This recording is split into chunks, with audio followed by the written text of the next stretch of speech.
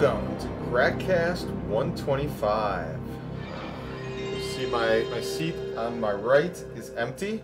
It's going to be filled here shortly, but before we bring in our guest this week, the actor Kash Hovey, I want to say a few words. John, who we've been talking about for the last couple weeks, uh, is no longer going to be with the show. Apparently, uh, John's been fighting through uh, a dark place for the last couple weeks. We've reached out to him. We've done everything we can to talk to him.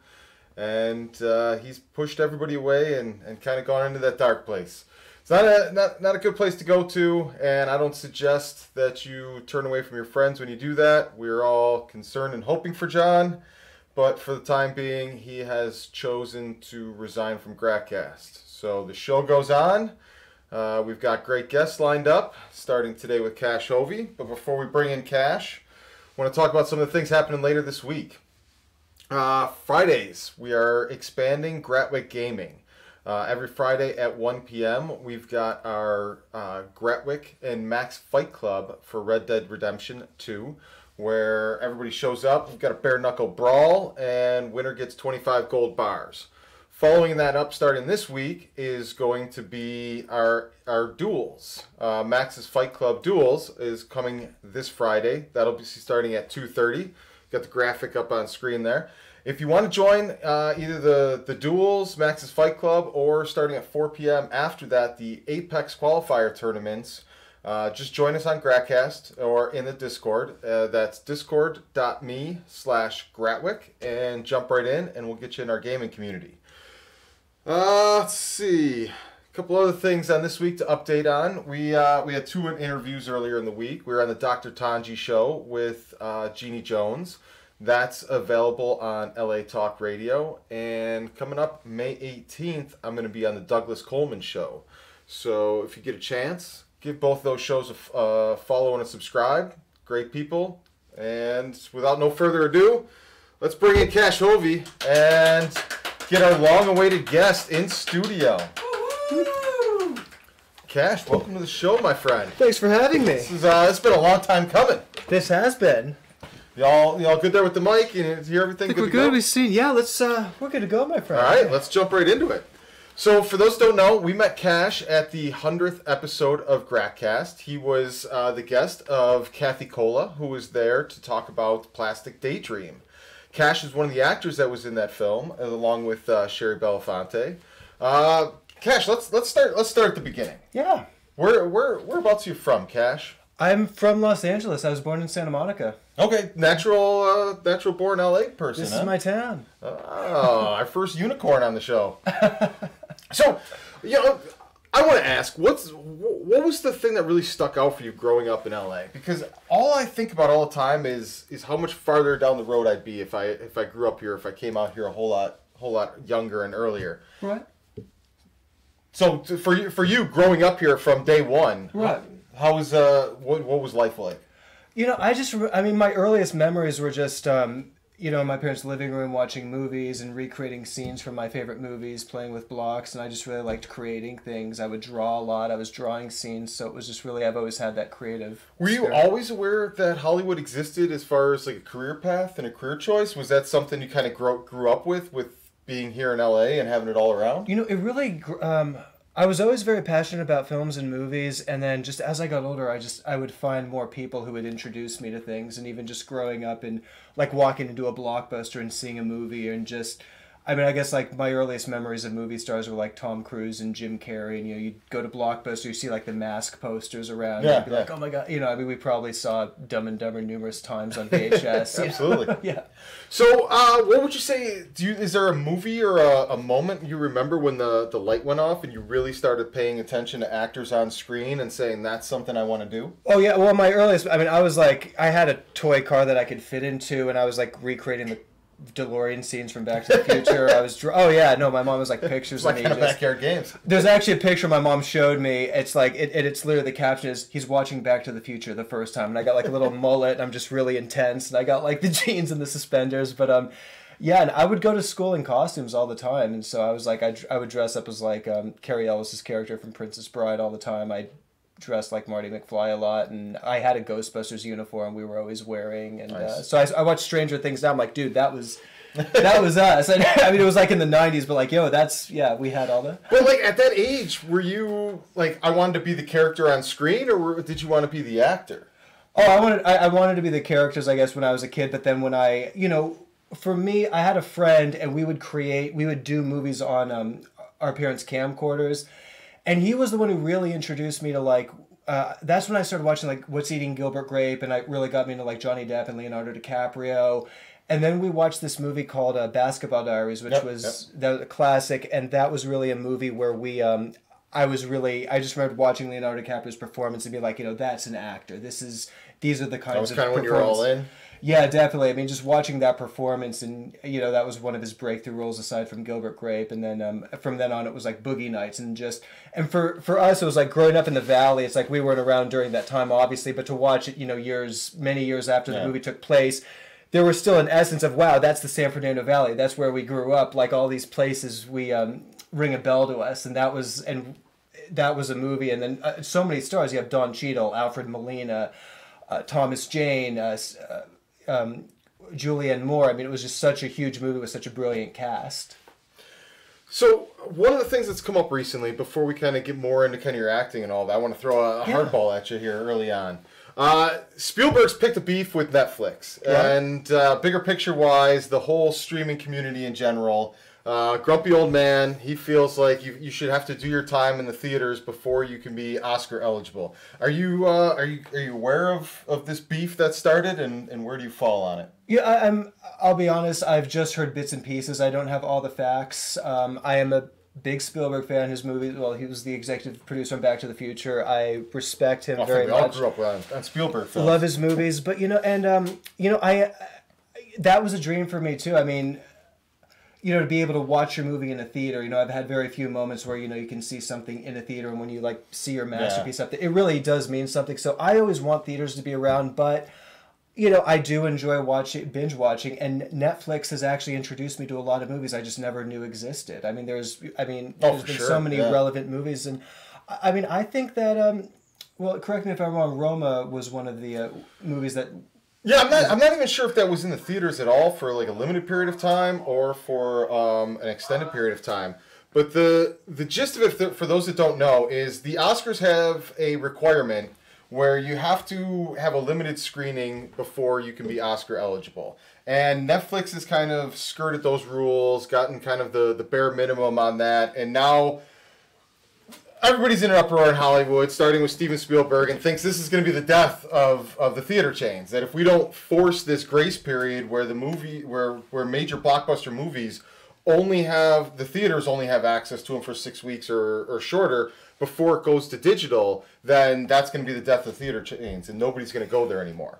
Um, are, would, would you stop going to the theater if you had the option on day one to watch it online or I mean, th- there's movies that I just want to go see in the theater. I mean, I will literally go up because I just need to see a movie. You know, I mean, I need to get Yeah. out of the house, and I think people really want to do that. I mean, we you can spend so much time in the house binge watching something, be like, you know, I got to get out. Friday night rolls around, it's a good date night. absolutely Yeah, I think I think theaters will always be around. I, I don't think they're going to be at the forefront the mm-hmm. way they've they've been Right. and they're fading away from, but I mm-hmm. think they'll, they'll stay around as a novelty activity. Something like, hey, I haven't gone to the theater forever, or this is a big action movie, go see that. But I don't think, and I don't even really think it is at this point people's first choice. Like if you can go watch it online, mm-hmm. th- there's a whole lot a lot more convenience to watching that online, and I think the option should be available. If I want big loud speakers and a huge screen, let me go to the theater and watch it. But like we shouldn't be regulating the movie theaters to keep them in business. Hmm. I mean, look, I I love to get out to the theater. I mean, I growing up in cinema, you wanna you wanna have that experience, but I mean, I think yeah, we need a you know times change. We should look at. I mean, because Netflix does a great service to. I mean, to all of us, just to be able to binge watch shows, create and get our content out there. I mean, it's been such a great avenue, and there's a lot of good things from it. But at the same time.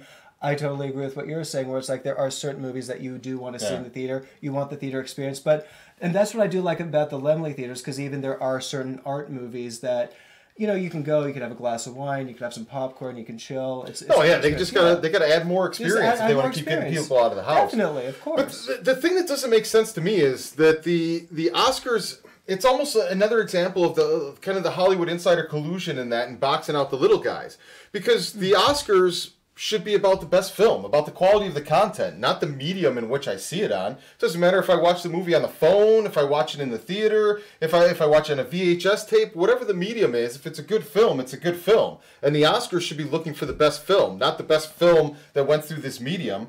Because uh, all right, say say Steven Spielberg gets his own way and and this whole blockade happens and it has to screen in the theaters to be eligible. Now every movie that doesn't uh, screen in the theaters is no longer eligible. So to me best picture loses some of its cachet some of its importance because you didn't really go up against all the other pictures. You only went up against the certain ones that were released in the theaters. There's plenty of other great movies you don't have to compete against because they didn't get released in the theater. And now I think you have to put an asterisk next to your best, best picture every year because it's been it's been qualified by the fact that you didn't you didn't face the whole competition field of competition. Just something that that's, that's been kind of on the on the topic and and uh, no, and it is a discussion. around. No, and I mean, I I follow what you're saying and what you're um, the points you're bringing up, and you know, I think you know we'll see what happens in the next few years. I mean, everything. I mean, I I couldn't have foreseen Netflix even happening a few years ago. I mean, I I can remember where it was just a, you know, you call or uh, how was it they would just send you movies in the mail. Yeah, Yeah, yep. I mean, I remember that about Our, our neighbor few- down the street still does Yeah. She trades the DVD with us all the Th- time. This was a few years ago. My uh, this uh, girl I was dating at the time was like, "Oh yeah," we, and it was a Ryan Reynolds movie, and it was like, "Oh, it just came Yeah. out." I'm like, "Oh, okay, cool." And then now it's like the service we all go to. So I mean, I think time will tell. You know, every every once people come around and we. I think I think sites like Netflix and YouTube and, and things like that. I think they're they're more of a stepping stone, and Mm-hmm. I think you're already starting to see see this change happen on the uh, on the the majors level. So Disney used to have all of their Marvel movies and stuff in Netflix, Right. and they're now pulling them all out, and they're pulling them from all the platforms and creating their own Disney distribution platform. Mm-hmm. I think ultimately that's where it's all going to head. Each brand of content, each production company, each filmmaker is going to have their own digital media platform, and that's where you to go to, you go to watch their content, as, as as opposed to these collectives that have content from all over the different places. I just think ultimately the middleman's going to get cut right out. You're going to save yourself all of those percentages, and then like channels used to be, where you flip through channels, each person will have their own different platform, and and that's where you'll you'll consume content from each brand. Right. So you uh you accomplished something at the age of 17 that I I admire a great deal and it's something at 10 years in LA that that I've yet to be able to accomplish. You got a you got an agent at 17 years old. How how did you know to go looking for an agent and how did you make that happen at such a young age? You know, actually, um, I, you know, I, I got an agent when I was about fifteen. I did a showcase with a girl I went to. Her mom was my instructor. I did a showcase with them, and I was approached by an agent. And uh, you know, I kept auditioning, and I was up for some stuff. And at the time, I was, I think, yeah, I mean, I, I auditioned straight for a year, and then I was, I think, seventeen when um, this was actually a wild story. So it's my last day of high school. I literally, it's my last. I'm sorry. Let me step back. It was my last week of high school. I went out for this audition, and I'd seen, you know, I was in a room with people that I was seeing on as guest spots on shows who I admire. I'm like, oh, good, you know, congratulations. And um, I went in. I had like long hair, and um, I was kind of going through, I guess, a Jim Morrison phase or something at the time. Oh, you got to so then we um, lean into it. so we went in there, we did the audition, and then I went in to take my last, like, this was like literally my last test of high school. And then I walk out and I looked at my cell phone, my agent called me, you booked the part. I'm like, what? So I went from literally my last test, I went home, went to sleep, and then I was on set the next day doing two commercials for Joe Pytka. Wow. Yeah. That's a, that's a nice career path. Yeah. So what's it, what's the experience like working with an agent? So a lot of people have these pie in the sky dreams. As long as I get an agent, all my problems are solved. Mm-hmm. I'll be working and, and, and making money as an actor forever. What's what's the reality like from your perspective of working with an actor? What are the pros and cons? What are some of the, the, the limitations that you have to, to navigate now that you have representation and you can't just kind of wild wild west it? Well, I mean, I mean, bring up interesting point, and I understand that that mindset that you've described. But I think, like in any industry, even entertainment, you really have to be passionate about what you do. You have to go out there and. I mean, you know, you can wait by the phone and ask someone or expect someone to do something for you, or you can go out there and make the magic yourself. I mean, and and my agent has gotten me great auditions. We have a great relationship with my uh, representation, but at the same time, I got to do my part, and I got to go out there and I got to meet filmmakers. Yeah. I got to meet people that I want to work with, and I mean, I think that's really. I mean, you, just always have to stay a step ahead no matter where you are and what you do. So, would you say the the typical agent relationship is more you keep grinding and hustling on your own, open doors, opportunities, and then you can lean on the agent and to bring them in, close it, negotiate everything pro- pro- professionally, make sure you're all taken care of and what what that I- opportunity is. That end, I totally agree, and of course, I would love to be in a position where I can just wait for a call and be like, you know, you book this, you're up for this. That would be great. Um, I hope to be at that level someday, but. I mean, the reality is, is just you know, I you know, you really have to go out there. You have to meet filmmakers. You have to meet other artists that share your passion and entertain. It's just acting and uh, making movies and just doing anything entertainment. It's it's a team effort. You know, you can be so. I mean, I I have friends who are just so talented and passionate about what they do and then they you know they have a representative who's just really good at the business angle so it's Yeah. so many things complement each other just even i like my relationship with kathy kolla i mean we complement each other on so many levels i mean I think that's a huge factor that's completely unaccounted for. Most people don't think of on all of that. That no matter how talented you are at a certain set of skills and all of that, that a big part of the the success in the path is finding those people that complement your skills and vice versa where you complement them to make that team where you carry forward and you work together and, and you fill in those blanks for each other. definitely So before we before we get to Kathy Kolla and uh, Plastic Daydream, I want to know more about kind of as the younger age of acting. When did you? What was your first audition like? When? How old were you when you took your first acting class? Oh gosh, I was. Yeah, I, pro- I I was doing plays in middle school, and we, we were by that time we were already. I mean, we were like recreating scenes from Basketball Diaries, and uh, we were doing we we. Do any of these whole movies still exist? Yeah, I, there, there's one. Uh, I, I know it's on VHS at my mom's house somewhere, but I have this one with um, Dillon Francis. He's a DJ now. It was me, him, and uh, two other friends of ours, and we were. I mean, we were like running through and like doing these like basketball diaries scenes, and then another friend of ours, Michael Shuman, who's in Queens of the Stone Age now. He we were like doing a home movie, so it was just weird. Like all these guys that I grew up with in the valley were just. I've gone on and done stuff like yeah, I remember back in the day we were just like kids on a video Yeah. camera doing this. See, I love that part though. The whole you want to do this, you want to do that, I want to do this. Let's all get together and make mm-hmm. something. All that. Yeah. The, the movie that really set the light off for me that it was possible and you could do all of those things. Clerks helped a little Yes. bit, but it was Oh, yeah. it was Swingers for me was the one that did it. Reading the story about Jon Favreau, Vince Vaughn, and all those guys, how they were all out of work. And they're like, well, we've got an actor, we've got a director, we've got a writer, we've got everything we need to make a movie. Oh, Let's just go ahead and do it. And oh, exactly. I, I think there's not enough people still in Hollywood that are just looking to make some stuff with friends. Like everyone's so worried about, oh, what does the job pay? What does the gig pay? Oh, these people aren't paying anything. Screw them. They're probably at the same level you are, and they're, they're just looking at you, but like the, the person looking for the opportunity, they're all you got to find the people at the same level as you and just start creating stuff, man. If all you care about is that day rate and you don't have any kind of resume, you're never going to get a day rate. And I I think there's too many people that are just afraid to, to spend the time and effort making stuff with their friends out here, and they think everything has to be a professional production. No, I mean, and, and it's good to set goals because we all want to be on those professional uh, productions. But at the same time, there's been so many great film festivals here in LA, like Holly Shorts and Dances with Films, and I have met so many amazing people who I've networked with.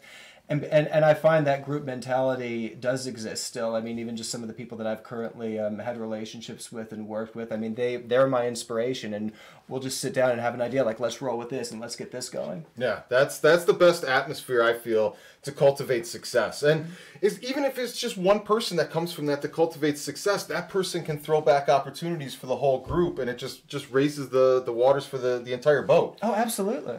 So, you've you've been acting for quite a while now, and had a lot of experiences on set. What's the, the, the most memorable experience you've had while while shooting something and, and being in a production? Yeah, um, I do have to not just because it's current, but I do have to say, Plastic Daydream was really something that just came together so well, and it was just such a fond experience, and just something I can really look back on and say, wow, that was uh, that really, you know, Was there any kind of specific moment or anything while you guys were shooting it? Maybe when you were on set with Shari Belafonte? you know that there were just so many levels about it. I mean, I remembered at the end, like I had known Kathy for um, for a while, like for about a year. We kept. I mean, I a colleague and a and a good friend of mine was in her uh, documentary. Who is uh, who's Billy Billy Bones? Bones. Yes, Yeah, we saw that. We Yeah, watched yeah. it. No, it's, it's an incredible, uplifting documentary, and she invited me to. Um, they they had the premiere party for it, and so I attended, and that's where I met Kathy. And then uh, we kept in contact. I kept letting Kathy know when I had premieres and stuff happening, and she was. Kathy was always supportive. She was always there. And then by the end of the year, we started getting a, a crew going. And, um, you know, I just do my thing. Like I reach out to people and like, you know, let's, let's get something going. And Kathy and I, we met up, we were going to a party and we decided to just, um, have grab some coffee. And we were like, we got to make something together. Let's do something. And then with it less than a month later, she had this script ready and then we're like, where do we go? And we had so many ideas what to do. And then I just picked up the phone and called Shari. This this will, and then we needed a doctor's office and my dermatologist for for 10 years i think he's been saying like you know Kash oh so you're an hey you know if there's any part for a doctor let me know and then and it was just and then um, I had just seen him, and I said, and I called him. I said, you know, we we actually need a doctor's office. We need someone to play. Doc-. It's like, oh, done. And so we Can't beat that. and it was just everything just kept falling into place and then to actually be on set and just the location this beautiful location out in thousand oaks was just uh, it was just such a memorable experience and then you know just to be able to work with i mean Shari and kathy and just it was so So, so did. Kathy write that role for you, or did she already have that project kind of developed and realized you were the perfect one for the character? you know uh, you'd have to ask kathy about the specifics but we met we wanted to do a project and she said this i, I want you to do this and we need to do this together Nice. Yeah.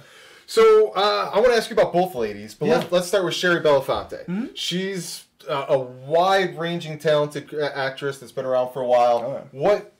How, did you know her before the, the show? Did, did you have a relationship with her beforehand? Yes, or- I've I've known Shari for many years. She's so cool, so friendly, and um, yeah. So how how did uh, the experience go of getting her on set and all of that? How did you guys get her excited about the part and the opportunity? You know, we um, I, you know, I've known Shari for many years, and we we needed uh, someone to play that role. I I spoke to her. I said, "We're um, this woman I work with, Kathy Kolla. We have this uh, film. We need.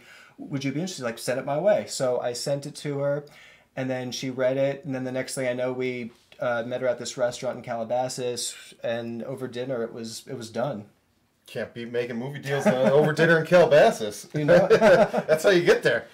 So, uh, Kathy Kolla. Now, Plastic Day, Plastic Daydream. What what's going on with that right now? Where's it headed? Do you guys have any other projects in the works that you're you're rolling this forward from? Oh yeah, we have. Um, well, it already screen. Thank you so much. You, I know you attended uh, La Femme Film Yep, yep, Fest. yep, that was our. Thank you both for attending. Uh, that was our first premiere back in October. Then uh, Film Fest LA Live. We Yeah, just by social media, you guys been all over with this thing.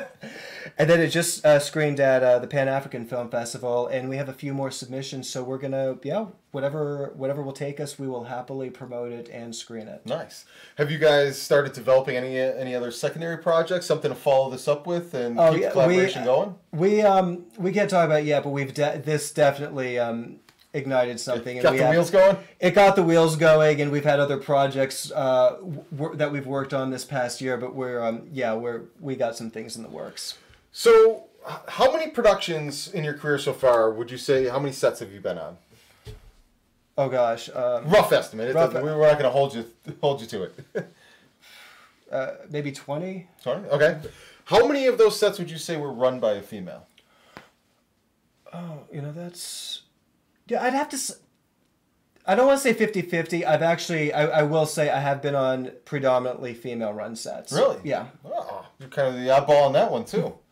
So you've had more than one female director then. Uh, definitely. Yeah. Okay. What are what are some of the experiences that you found out that is kind of a little bit different on how maybe maybe the female director handles an actor versus a, a male director? What's something specific you learned from working with Kathy Kolla that that has advanced your career or Right. made you a better actor? You know, the thing that I just love about Kathy so much is that we, like, we know what each other thinking. Like, I know, like, there's just certain things that Kathy's great at, certain things I'm great at. So we just, you know, we just synergize and we create the best work and the best outcome because of that. We're very open and, and know what each other need. And uh, at the same time, we know what will make our project great. And that's what I found on set with her. There was just very, um, I mean, you know, just like things come up on set, we got to roll with it.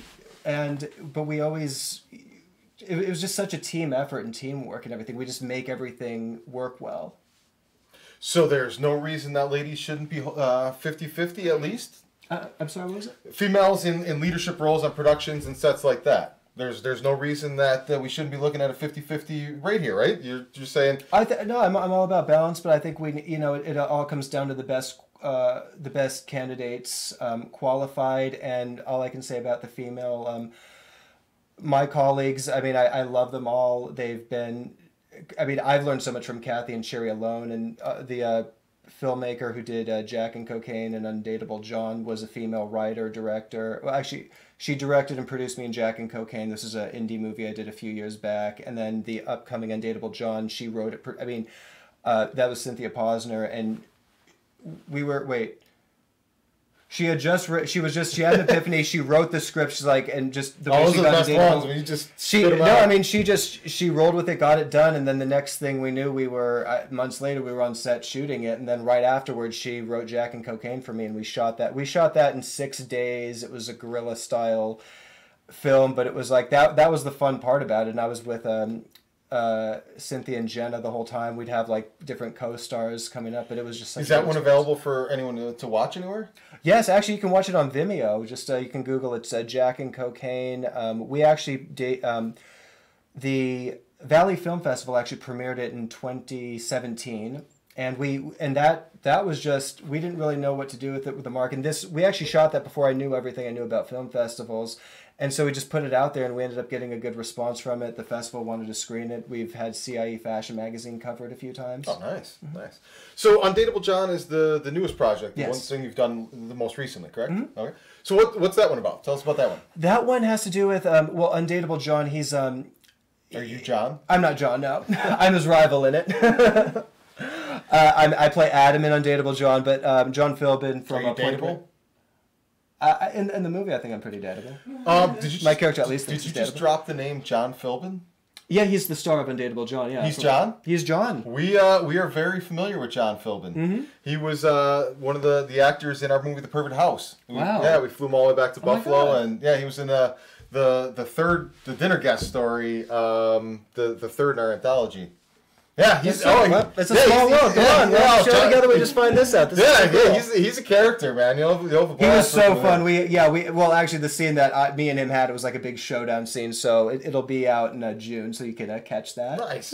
I didn't know. I didn't know he was the the lead in that. He's That's Undateable John. He's the he's the slacker surfer instructor. He's uh, Oh, that's named right after a Stella right up Lawrence his alley, character, yeah. and it's about um, it's it's just about these characters in AA. And uh, my good friend Ron Robinson, who was in uh, Jack and Cocaine with me, and we did Edge of Incursion together.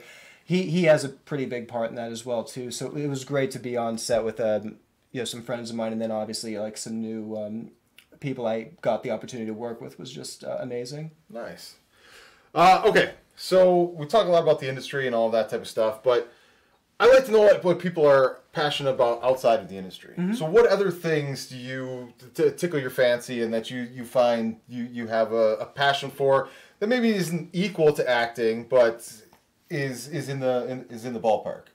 You know, actually, my brother got me into golf recently, so we've been going to the golf course quite often. my bro, I mean, yeah, he, uh, my brother was, uh, he was the sports guy. I was the artist. So, you know, he turns me on to different sports and things like that. I've been going to the gym, taking hikes. I, I find too, just even being in LA and with social media in general, you know, we're always looking at our phones. We're always like, I mean, even just.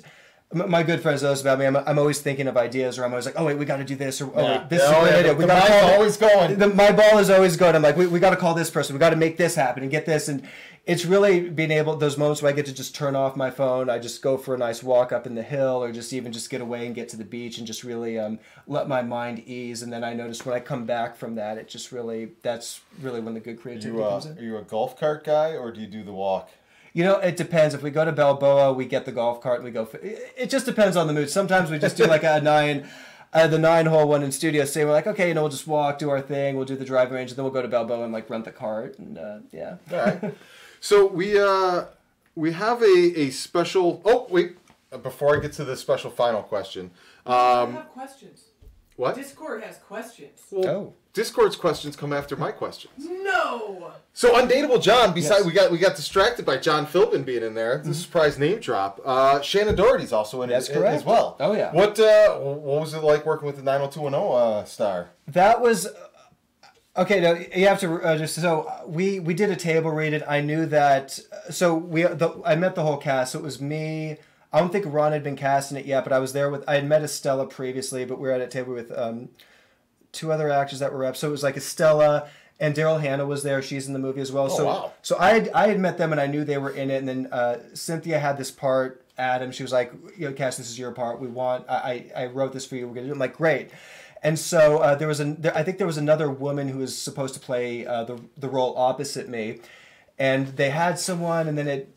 I think something came up, and they had to recast her at the last minute. I, I don't know the whole story, but so I literally was you know, and they were like, okay, we're gonna do this day, and you know, you're just hoping you're still gonna be in the movie. And so I'm literally driving to set, and I get the call that, by the way, Shannen Doe. I'm like, what? And I was like, it was so like, are, are you kidding me? And it was just so, it was just like, I mean, I was, you know, I actually knew Shannen. Stuff up my game today. was- oh my gosh, it was like so. I mean, I, I was ready for it too. I just remember it, we it was at this location up in the Hollywood Hills and going to set. But I mean, I actually knew Shannen from my fir- the first thing I knew her from was Mallrats. Uh, you know, I'd seen that on DVD, and I'd gotten into Kevin Smith and. Uh, that movie, and then I had no, and then you know, I was younger when 90210 was actually on, so I didn't, you know. But I, after I saw Mallrats when I was a little kid, I, I, you know, was watching the 90210. I'm like, oh, that's the girl from Mallrats, and so I, I put it together. I mean, and Yeah, of yeah. course I know, I know, you know, her name and what she is. But at- by that time, when we shot this, I obviously was like, oh my god, 90210, this is like so cool. And then, um, so I get to the set, and it was um, John had just finished some scenes with his mother, who was Meredith Baxter, and I was a big, you know, Michael J. Fox Family Ties fan. So meeting her, and she was such a lovely. Got all lady. sorts of people in this. It was just a, a magical set, and then we, um, I got called in to run my lines with Estella, and so they were. Um, it was just funny. So Estella was getting makeup. She's like, "Kash, come in, let's run lines." Like, okay. So then I have like these two makeup girls working, you know, just touching me up and everything, and then Shannen walks in. So I'm like, it's just it was just this funny thing. I'm doing lines, and then these two girls are doing makeup on my face, and I'm like, "Hello, nice to meet you, hi," and then and then she wants to run lines, so I'm like in the middle, going back and forth. We're doing this, and that was the first time we'd like ran the scene together. Was when we were in makeup, and then we just jumped in, we did it, and it was so much fun. Nice, nice. Question about uh, actor protocol. Yeah.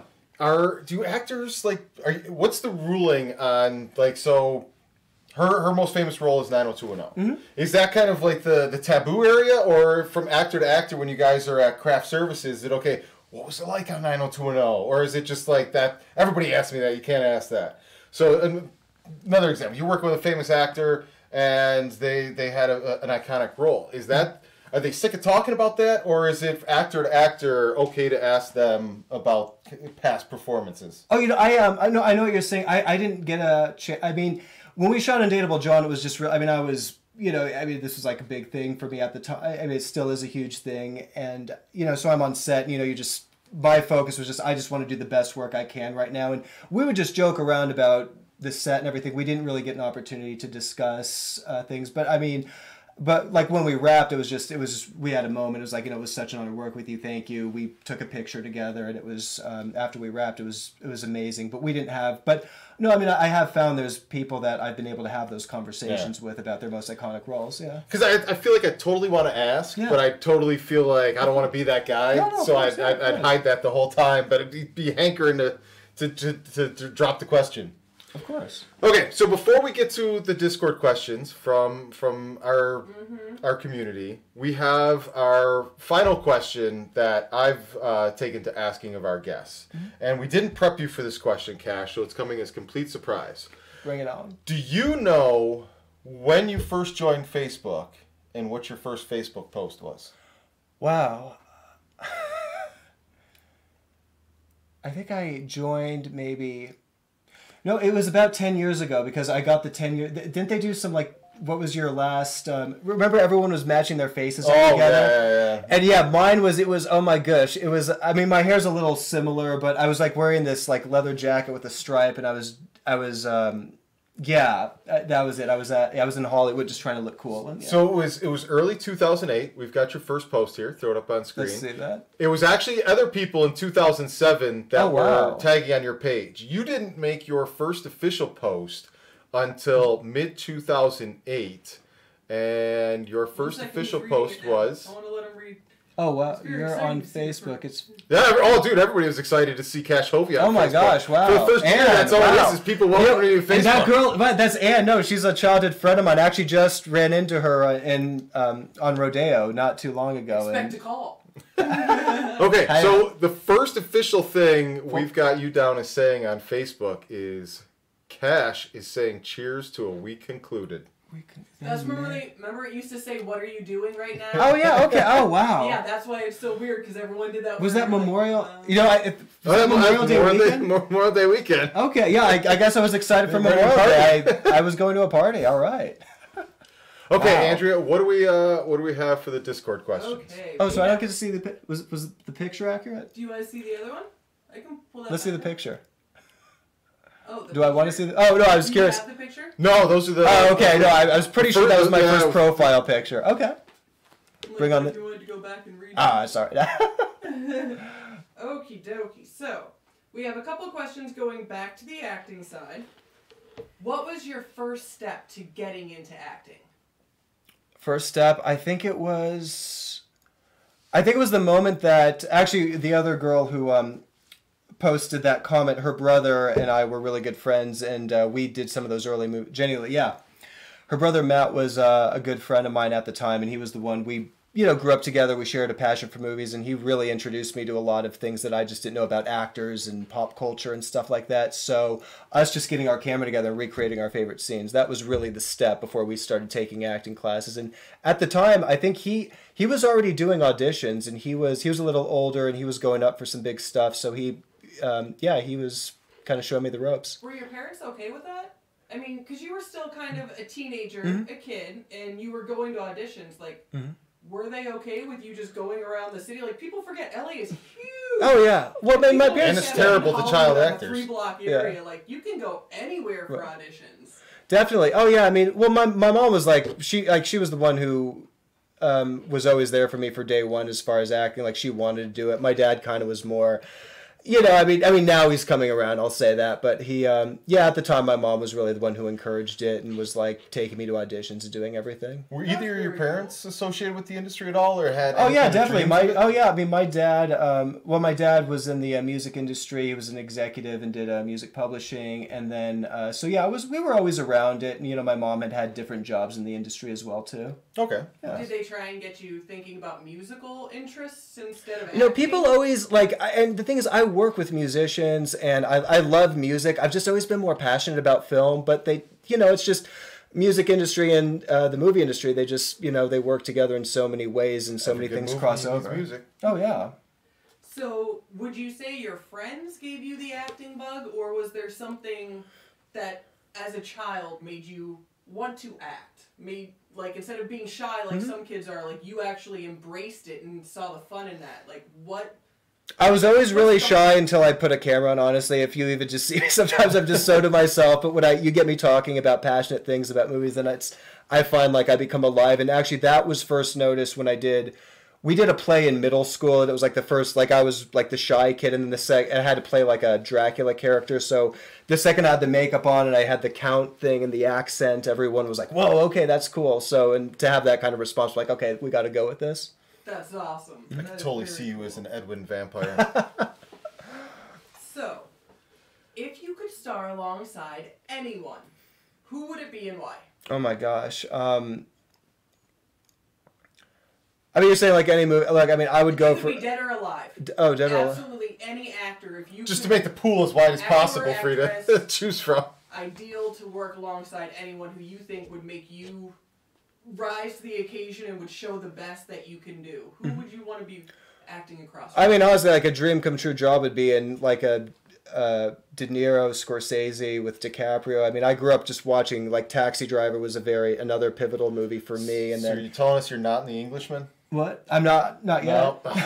Maybe this interview will help with that. But yeah, if uh, I, I'm I'm here and ready when you want me. But you like the gruff, like real characters that make you act. Oh yeah, I mean, I was watching Show Goodfellas and Departed growing up. It's just I love just those kind of uh, character developments and like Scorsese Scorsese's a director. Like it could be three or four hours. I'm just I'm just totally Yeah. invested in what he does.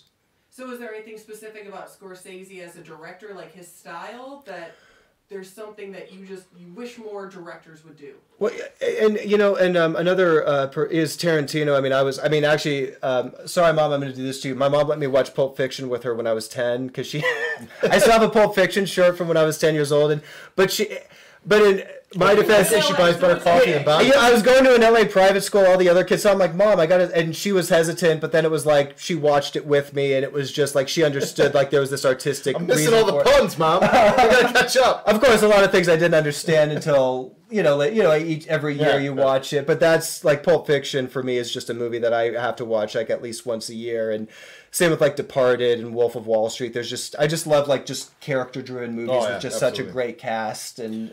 Is there any uh, project either on the indie level or at the top of the food chain floating around Hollywood right now that you're aware of that you would love to, to be a part of uh, playing in that sandbox? Well, I mean, look, I mean, if you want to put me in an Avengers movie, I'll totally take that in a heartbeat. But you know, when if you, uh, workout regime. oh, dude, no, I would love to just be able to do stunts, get on a set. I'm, I'm ready for Have anything you right now. seen those Brie Larson workout thing videos? I haven't seen the video, but yeah. she's pushing SUVs like her back up against it. She's uh, insane, amazing how long, how much she can do now. That they're like she couldn't even lift herself up, do a pull up, and now she can. Wow. Oh, it's I, insane. I I got to watch that. I mean, I, I think she's a phenomenal Avenger, actress. And, oh yeah, yes, to be. you are definitely avenging something. Holy Mhm. cow! so you've worked with a lot of female directors. That's and correct. A lot of male directors. Mhm. So you know the best of both worlds. Mhm. What is a huge difference, like a glaring difference between styles, just in general, between Mm-hmm. male directors and female directors? Yeah, and and I'm not trying to get out of this question or just to say like, oh, you know, I, I don't know. It's just, I mean, like I love people, and it's just every experience has been just different and unique in, it, in its own way. I mean, just um, the director of As in Kevin was different than the director of um, Undateable John. Jack and Cocaine was different from Plastic Daydream, and and it wasn't like anything that I could say like, oh, this is like it was just it was just like creative people trying to get the best out of um, the performance. And i really haven't been on a set where i can say like oh you know this was this way and i didn't approve of this. I mean everything that to my knowledge has been very um, uh, professional and That's probably the best answer because regardless of gender, each of the creative directors stood on their own two feet and and was their own person and their own individual. Because like the the sweeping, see for me, this this the whole diversity logjam. I think it it, it, it it's kind of dyslexic because I think the problem starts with distribution. Mm-hmm. Because for so long, the things that are getting distributed, the, the things that are getting mainstream audience are a very select, narrow demographic of type of content and all of that.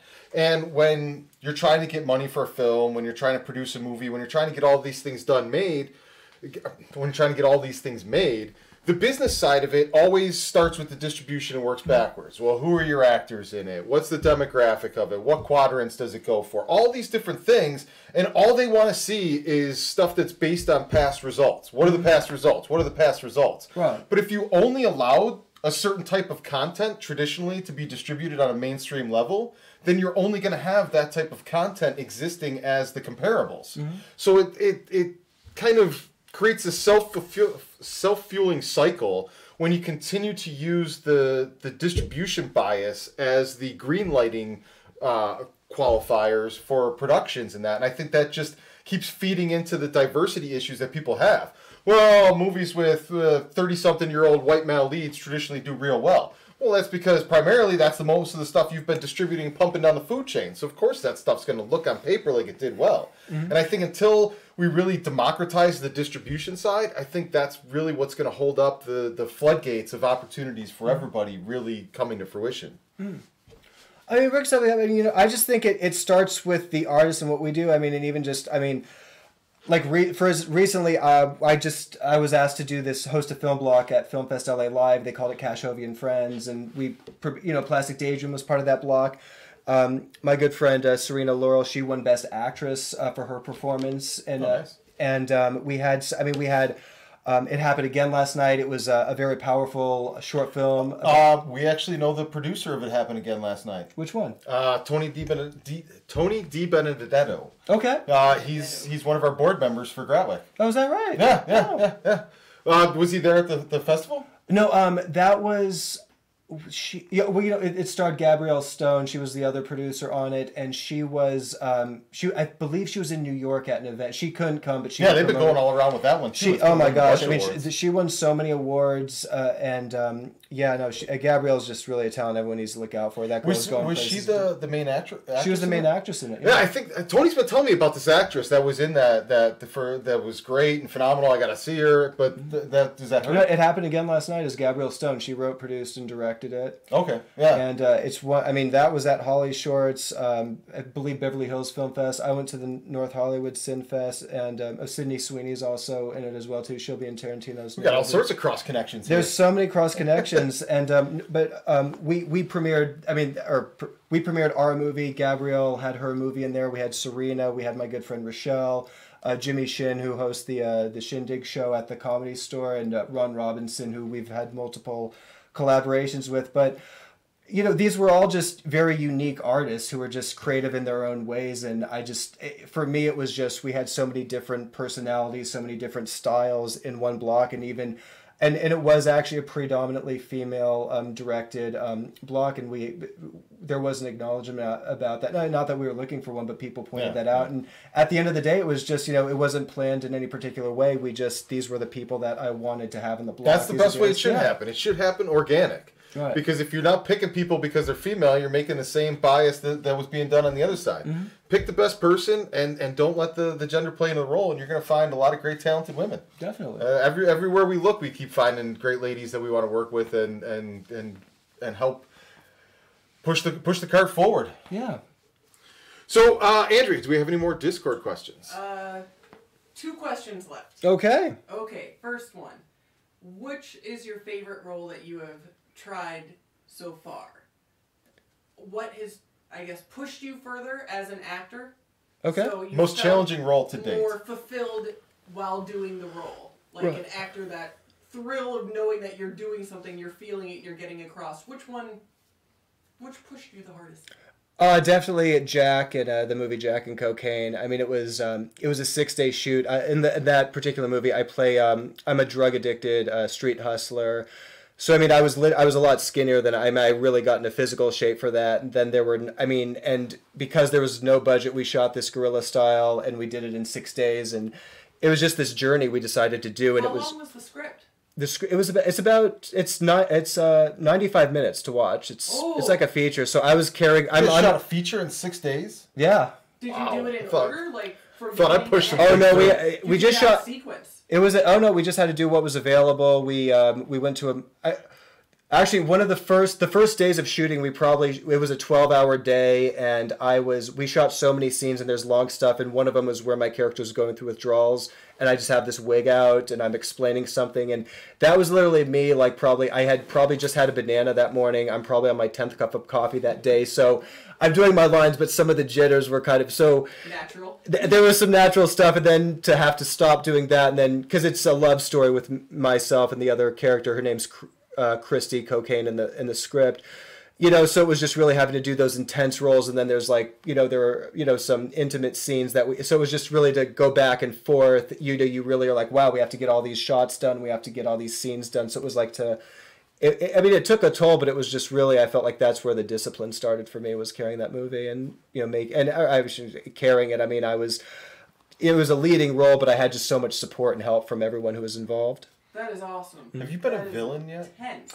I think you know I think lately I've been kind of playing villains mostly. I mean, I'm kind of a villain in the. um Yeah, Plastic Daydream. I guess you're kind of. I guess I'm kind of okay. Real okay. I'm glad you said that. Thank you for saying that. No, because I feel like he's a good guy, right? I mean, In no way were you the bad guy. Thank you, thank you. Okay. Do you hear that? I'm not the bad guy. there's no way I can make this case without giving spoilers. So It's good. I cried. oh well, that means a lot. No, that yeah, makes- you cried because of what he did. No. Yeah. Really not a No, bad I guy. can't give away. No. I'm not Like I giving said, I can't make this case without giving spoilers away. Okay, so the last question. Mhm. Would you ever want to write your own movie? Since you know kind of what your next level is as an actor, what you'd like to be pushed to do, the kind of role that if you could ever come across it, would you ever want to write a story? Like, do you have something swishing around in your head that, you know, if you could ever do a certain kind of scene, kind of thing, Oh. where you could build a movie off of a scene that you would like to do to show you can do? Like, have you thought about that? You know, like here's how I go about writing. Like in the like when we did the um even after Jack and Cocaine, and there was we did this web series with Catherine Bayless called Another Blackout, and that was predominantly written by a writer partner that I had at the time. Now she came up with the concept, and then how we worked was we went back and forth, and I was like, "You have the concept down. I'm good at filling in the dialogue." And then we did another episode, and one of my friends who we just again we're just two people, we just click every time we talk. We just literally were just having coffee, like this is the scenario, and we wrote something down, and then we shot it recently. So if I find something that I'm really passionate about that I want to do, then I can be like, okay, I know this character, I know what I want to do. But I just, I for me to like, like there's just certain people who are just gifted at writing and they know. But it's like once I know the scenario, I'm like, okay, I know how to make this more realistic, or this is what this person would say. But to take on like a gigantic role, I have to be like so passionate about the character and the work. And I really hope that happens because I, I write so much down. I'm always writing my thoughts down because I like to know what I'm going through, and it just helps me express and get things out in general. So I'm always writing, and then sometimes an idea just pops out that I can go with. So we'll we'll see, but I'm I'm very open to that and would love the opportunity. That would be awesome. Yeah, I've got a follow up question. of course. What uh, what do you want your legacy to be in the industry outside of just your talent and as an actor? If you could have like an impact or something that that changed the way the industry's done, what kind of impact would you want to have? No, you know, I mean, honestly, I mean, uh, I've always just wanted to be a, a great actor and make good movies, but I think that we are at a um, a point in time, just not even just in our industry, but in the world, where you know changes are being made and people are reevaluating, you know, how we, you know, just I, I think we're we're at a time in history right now where a lot of change is happening, and I'm seeing so many just passionate young people in all their fields, like you know, doing their best work. You know, I mean, there's Yeah. just so many just young actors I talk to. There's so many just young uh, computer programmers, and we're just really on this new level of way of thinking and way of going about business. And so, um, you know, I, I really think it's important to you know be a good person and know how you can make an impact. And I think it starts in our own communities. Like when I'm on a set, when I'm working with my my colleagues, it's like you know, it's treating everyone with respect, knowing how we all complement each other, making things happen, and that's that's the kind of legacy. If I could have a legacy, I would really want to have that. Nice, nice. All right, Kash. Well, um, is there anything you want to plug here while we before we wrap up the show? I just well, thank you both for having me. Thank Oh, you to my it's been a long publicist. She's been coming. sitting here, Rhonda Collins. Shout out Monarch PR. Woohoo! Thank you for this.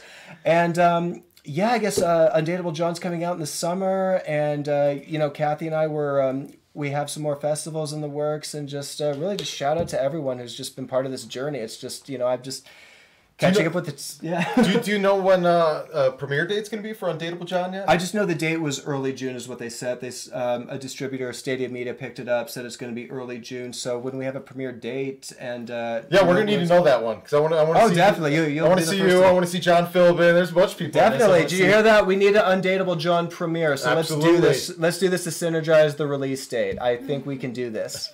No, we can do this. We will do this. Right.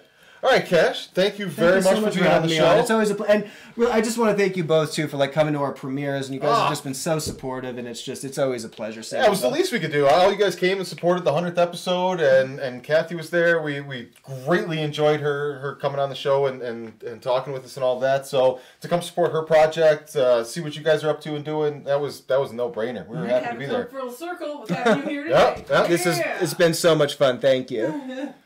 All right. Well, thank you very much. I'm gonna I'm gonna close out the show here. So if you you want to hang out for a minute or two, we're gonna wrap it up. Uh, if you want to run off stage, you're you're more than welcome to. But we're we're bringing it in for a landing. There's gonna be no Emily's corner this week because Emily's having technology issues in her corner. Uh, the Discord questions were all geared towards Kash this week. And without John, the bullet blitzes are going to be on hold for now until we figure out what we're doing with the co-host.